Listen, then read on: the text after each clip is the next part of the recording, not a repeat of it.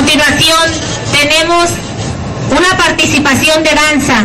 La danza es un arte de expresar las tradiciones, costumbres de cada uno de las regiones y del estado de nuestro país.